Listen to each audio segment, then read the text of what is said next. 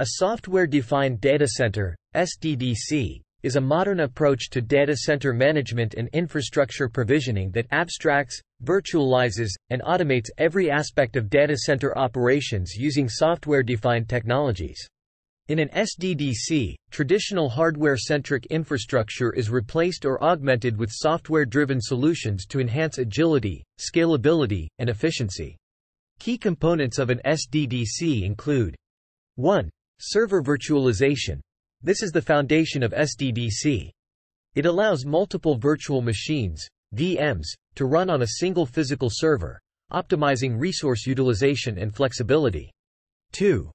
Software-defined networking, SDN. SDN decouples network control from hardware, enabling programmable and automated network management. It facilitates dynamic and efficient network configuration and policies.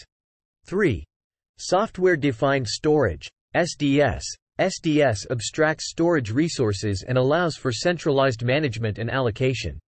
It can dynamically allocate storage based on application needs and is often more cost-effective than traditional storage solutions.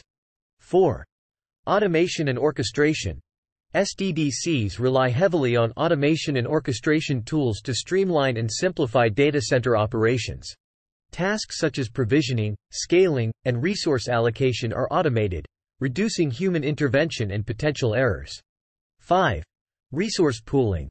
SDDCs pool computing, storage, and networking resources, creating a flexible and shared infrastructure that can be allocated on demand to different applications or services.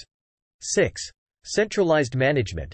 A central management interface provides administrators with a holistic view of the entire data center, making it easier to monitor, manage, and troubleshoot the environment. 7. Security and compliance. SDDCs often incorporate security features such as microsegmentation and policy-based access control to enhance data center security. Compliance can also be enforced through automated policies.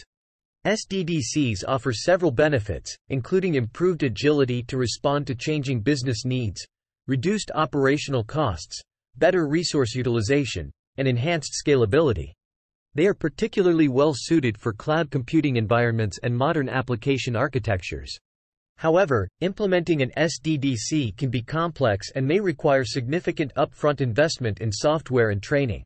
Nonetheless, many organizations view the transition to an SDDC as a strategic move to future-proof their data center infrastructure in an increasingly digital and dynamic landscape. Subscribe for more videos. Thanks for watching.